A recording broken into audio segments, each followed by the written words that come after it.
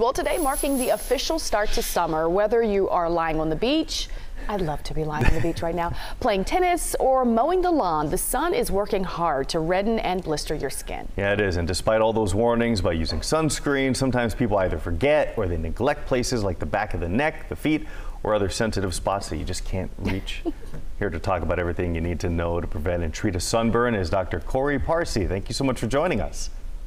Thank you so much for having me. This now, is a perfect time to talk about sun safety. Yeah, it is. Now, we know that you're a dermatologist at, at Kaiser, so thank you so much for your time. Let's start off with this.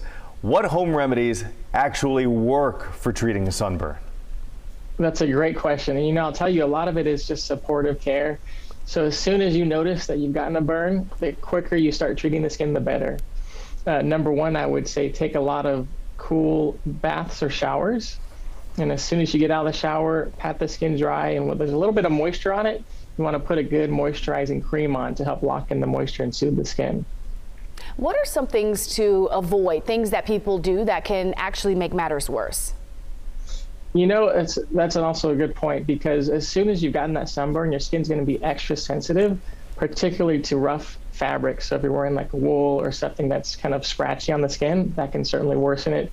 And then for those few days afterwards, you want to make sure you're really covering up as best as possible.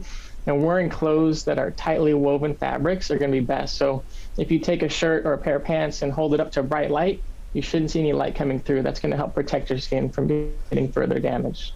I have to imagine that when you're applying moisturizers to that sunburn, there are probably some particular ingredients that you should avoid. Absolutely. So products that have caines at the end, C A I N E, for example, benzocaine. Those products, uh, unfortunately, are not good to put on sunburned skin. Um, definitely stick with things like Cetaphil cream, CeraVe, or anything that has like aloe or soy in it. Those are going to be helpful.